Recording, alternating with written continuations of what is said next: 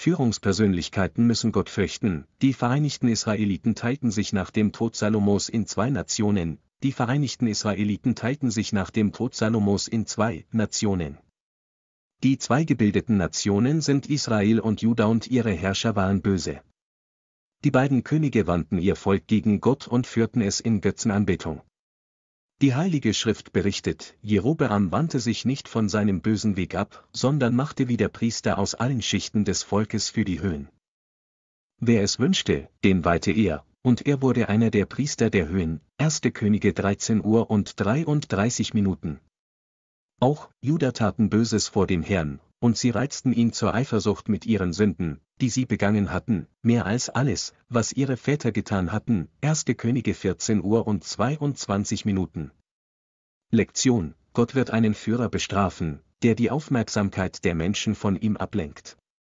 Von einem Leiter jeglicher Fähigkeit wird erwartet, dass er Gottesfurcht hat und rücksichtsvoll mit seiner Führung umgeht. Von Führungspersönlichkeiten wird erwartet, dass sie ihren Einfluss zum Wohle ihres Volkes einsetzen und es dazu ermutigen, in seinen Praktiken gottesfürchtig zu sein. Es liegt auch in der Verantwortung der Nachfolger, jede erhaltene Unterweisung zu bewerten und sicherzustellen, dass sie mit Gottes Gesetzen übereinstimmt. Sowohl die Führer, Herrscher als auch die Anhänger, Bürger haben den Auftrag, Gott in allem, was sie tun, zu gefallen.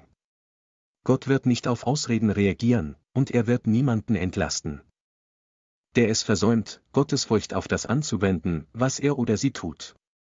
Das Gebet, lieber Gott, bitte hilf mir, meine Position in einer Weise zu verwalten, die dich verherrlichen wird.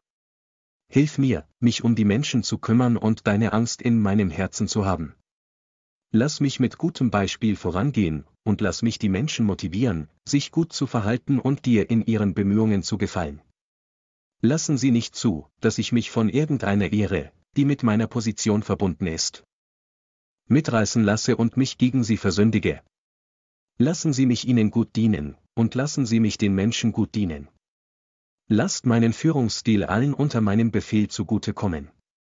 Denn im Namen Jesu Christi stelle ich meine Bitten. Im Namen Jesu Christi erhebe ich meine Bitten.